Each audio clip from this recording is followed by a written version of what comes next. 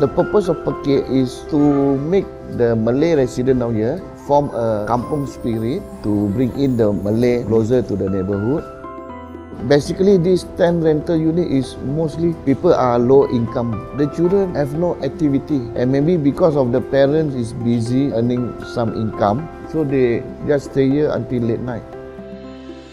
After Pekik is created, their discipline had turned up a bit.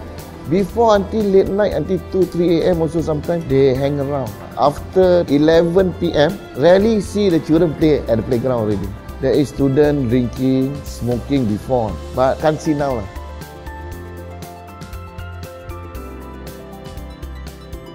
My intention is to give them basic knowledge of religious. So with that, they can discipline themselves so they can grow up in a good moral.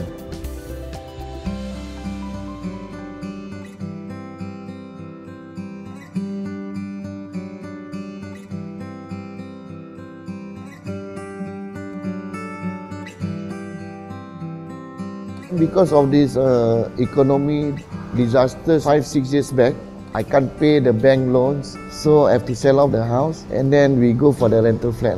Because of my education level, I only passed February 6. I cannot get a suitable job right now.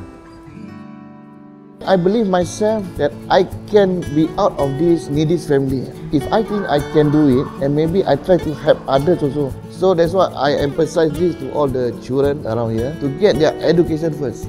I normally ask them to go and read books before they start to play the game. For you, I'd be a stranger, a face and nothing more. A couple of fences pass, and I'd you be heretofore.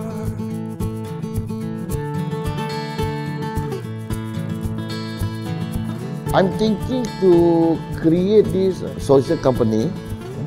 So with that, I can easily contact with outside sources to create job for the people around here.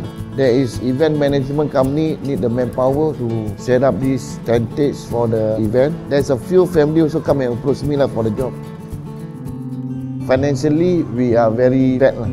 Because to create everything, we need money. Without money, we cannot go for bigger activity.